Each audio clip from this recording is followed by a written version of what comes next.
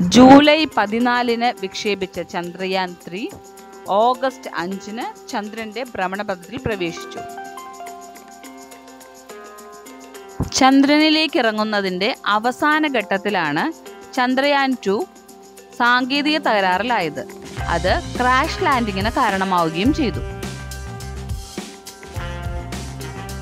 August ഇരുപത്തി മൂന്ന് അതായത് നാളെയാണ് ചന്ദ്രയാൻ ത്രീ ചന്ദ്രന്റെ ദക്ഷിണ ധ്രുവത്തിൽ ഫേപ്പ് ലാൻഡിംഗ് നടത്തുന്നത്.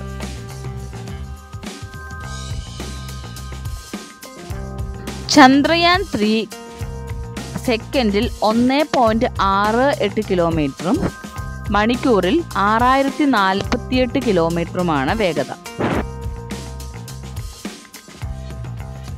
ചന്ദ്രയാൻ ത്രീക്ക് മൂവായിരത്തി എണ്ണൂറ് കിലോഗ്രാമാണ് ഭാരം.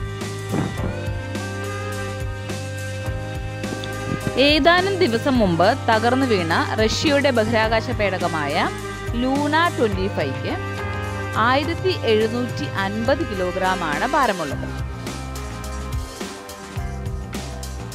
ഇന്ത്യയുടെ മൂന്നാം ചന്ദ്ര ദൗത്യമായ ചന്ദ്രയാൻ ത്രീ ശ്രീഹരിക്കോട്ടയിൽ നിന്നാണ് വിക്ഷേപിച്ചത്. ചന്ദ്രോപരിതലത്തിൽ സുരക്ഷിതമായ സോഫ്റ്റ് ലാൻഡിംഗ് നടത്തുക റോവർ ചലിപ്പിക്കുക. ചന്ദ്രനിൽ ഇറങ്ങുന്ന സ്ഥലത്ത് വിവിധ ശാസ്ത്ര പരീക്ഷണങ്ങൾ നടത്തുക. തുടങ്ങിയ മൂന്ന് പ്രധാന ലക്ഷ്യങ്ങളാണ് ചന്ദ്രയാൻ ത്രീക്കുള്ളത്.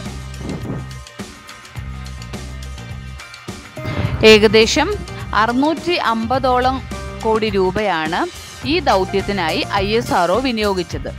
ഈ ദൗത്യം വിജയിച്ചാൽ ചന്ദ്രനിൽ സോഫ്റ്റ് ലാൻഡിംഗ് നടത്തുന്ന നാലാമത്തെ രാജ്യമായി തീരും ഇന്ത്യ. രണ്ടായിരത്തി എട്ട് ഒക്ടോബർ ഇരുപത്തിരണ്ടിനാണ് ചന്ദ്രയാൻ വൺ ആദ്യമായി വിക്ഷേപിച്ചത്. അതിനുശേഷം രണ്ടായിരത്തി പത്തൊൻപതിൽ ചന്ദ്രയാൻ ടു വിക്ഷേപണം നടത്തുകയുണ്ടായി. ഇത് രണ്ടും പരാജയമായിരുന്നു.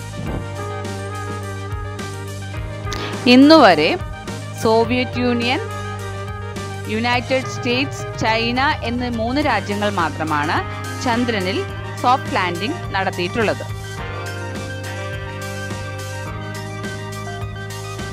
ഓഗസ്റ്റ് ഇരുപത്തിമൂന്ന് വൈകിട്ട് അഞ്ച് നാൽപ്പത്തഞ്ചിനാണ് ചന്ദ്രയാൻ ത്രീ സോഫ്റ്റ് ലാൻഡിംഗ് ആരംഭിക്കുന്നത്. നമുക്ക് ചരിത്ര നേട്ടത്തിനായി കാത്തിരിക്കാം.